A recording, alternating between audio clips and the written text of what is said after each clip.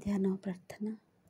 March ଏକ ଉଣେଇଶହ ଚଉଦ ନିଜ ଭିତରେ ହିଁ ସକଳ ବାଧା। ନିଜ ଭିତରେ ହିଁ ସକଳ ବିଘ୍ନ। ନିଜ ଭିତରେ ହିଁ ସକଳ ଅନ୍ଧକାର ଓ ଅଜ୍ଞାନ।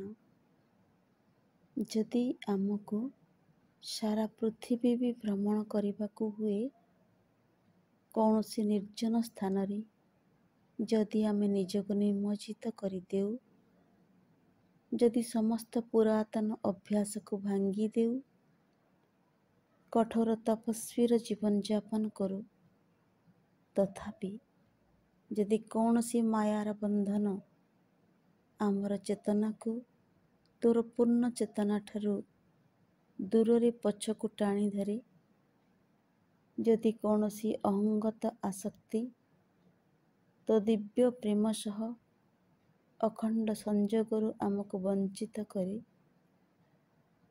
ତେବେ ବାହ୍ୟ ଅବସ୍ଥା ଯାହା ହେଉନା କାହିଁକି?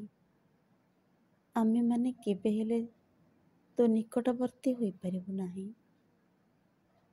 କ'ଣ ଏପରି କିଛି ଅବସ୍ଥା ଅଛି? ଯାହାକି କମ୍ ଅନୁକୂଳ ବା ବେଶୀ ଅନୁକୂଳ? ମୋର ଏ ବିଷୟରେ ସନ୍ଦେହ ହୁଏ।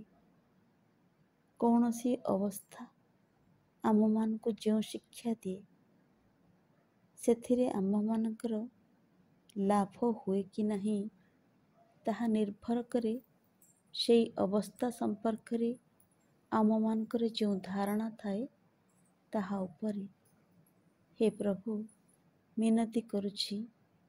ଯେଉଁ ଉପାଦାନର ସମଷ୍ଟି ନେଇ ଏହି ବ୍ୟକ୍ତିତ୍ୱଟି ଗଠିତ ତାହା ସମ୍ପର୍କରେ ଯେପରି ମୋର ପୂର୍ଣ୍ଣ ଜ୍ଞାନ ଓ ପୂର୍ଣ୍ଣ କର୍ତ୍ତୃତ୍ୱ ରହେ। ଫଳରେ ମୁଁ ଯେପରି ମୋ ନିଜଠାରୁ ମୁକ୍ତ ହୁଏ ଓ ଏକମାତ୍ର ତୁ ହିଁ ଯେପରି ଏହି ବହୁବିଧ ଉପାଦାନ ମଧ୍ୟରେ ବାସ କରୁ ଏବଂ କାର୍ଯ୍ୟ କରୁ। ଭଗବାନ ପ୍ରେମ ମଧ୍ୟରେ ପ୍ରେମ ସହାୟତାରେ ପ୍ରେମ ନିମନ୍ତେ ତୋର ଊର୍ଦ୍ଧ୍ୱତମ ପ୍ରକାଶ ସାଙ୍ଗରେ ଅଛେଦ୍ୟ ଭାବେ ସଂଯୁକ୍ତ ହୋଇ ଯେପରି ବାସ କରିପାରେ ନିରନ୍ତର ଆହୁରି ଜ୍ୟୋତି ଆହୁରି ସୌନ୍ଦର୍ଯ୍ୟ ଆହୁରି ସତ୍ୟ